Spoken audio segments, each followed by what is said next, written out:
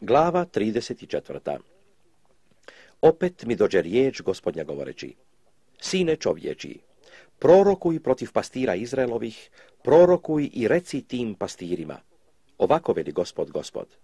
Teško pastirima Izraelovim koji pasu sami sebe. Ne treba li stado da pasu pastiri? Pretilinu jedete i vunom se odjevate, koljete tovno, stada ne pasete.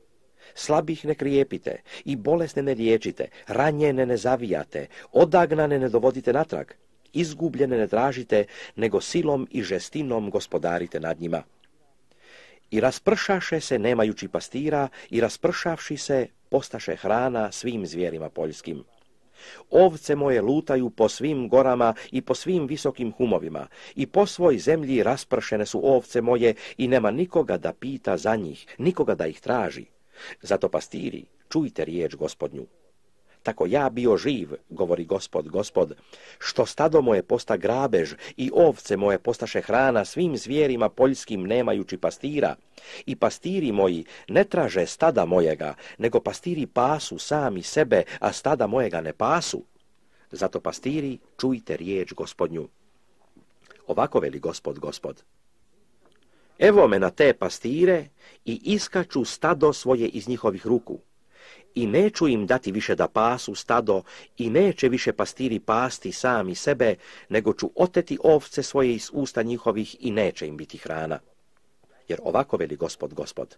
Evo me, ja ću tražiti ovce svoje i gledati ih kao što pastir traži stado svoje kad je kod ovaca svojih raspršenih, tako ću tražiti ovce svoje i oteću ih iz svih mjesta kuda se raspršiše kad bijaše oblačno i mračno. I izvešću ih iz naroda i pokupit ću ih iz zemalja i dovešću ih u zemlju njihovu i pašću ih na gorama Izraelovim pokraj potoka i po svim mjestima naseljenim u zemlji na dobroj paši pašću ih i tor će im biti na visokim gorama Izraelovim. Ondje će ležati u dobrom toru i po obilnoj će paši pasti po gorama Izraelovim.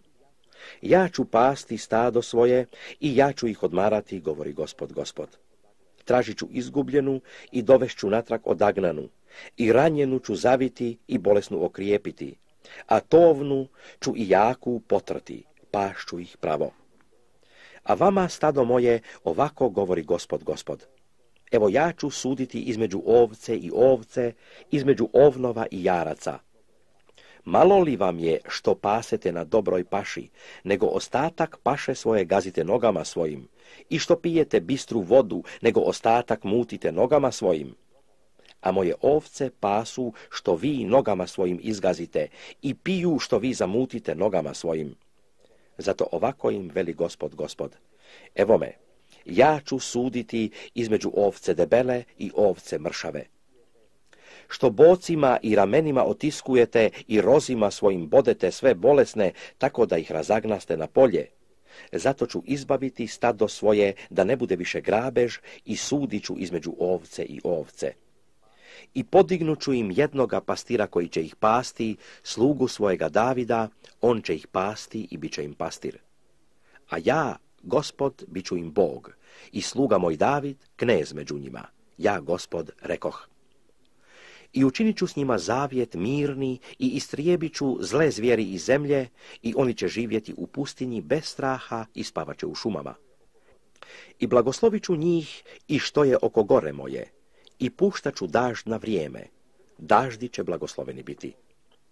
I drveta će Poljska rađati svoj rod, i zemlja će rađati svoj rod, i oni će biti u svojoj zemlji bez straha, i poznaće da sam ja, gospod, kad polomim palice jarma njihova i izbavim ih iz ruku onih koji ih zarobiše.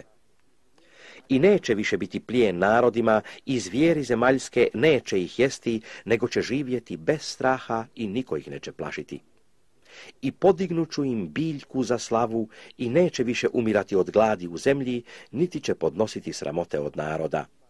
I poznaće da sam ja, gospod Bog njihov s njima, i oni, dom Izraelov, da su moj narod, govori gospod, gospod.